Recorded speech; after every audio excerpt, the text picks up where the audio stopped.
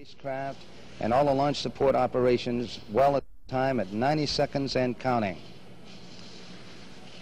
Houston flight now confirms that they are that they are go for the flight as are all other aspects of the mission. T minus 1 minute 16 seconds and counting. The pressurization continuing within the vehicle at this time. We also have a hydraulic commit that will permit the hydraulics to drive the engines in the first stage. Liquid hydrogen tank in the second stage now pressurizing. T minus 60 seconds and counting. T minus 60. Our status board still shows we're go at this time. T minus 50 seconds and counting. We have transferred to in power, internal power. The transfer is satisfactory.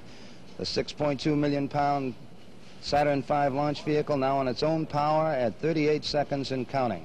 To repeat, the ignition sequence will start at 8.9 seconds. We'll be looking to lift off at zero. T minus 30 seconds and counting.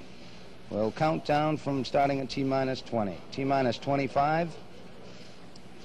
Stage is reporting ready for launch. T minus 20, 19, 18, 17, 16, 15, 14, 13, 12, 11, 10, 9. Ignition sequence starts.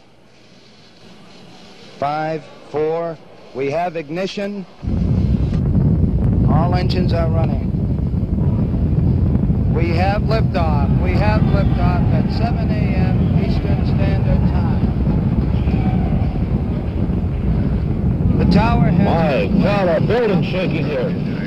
Our building's shaking.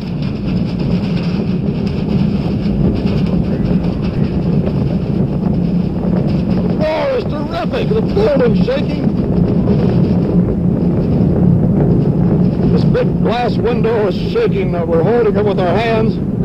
Look at that rocket go into the clouds at 3,000 feet. The roar is terrific. Look at it going. You can see it. You can see it. Part of our roof has come in here.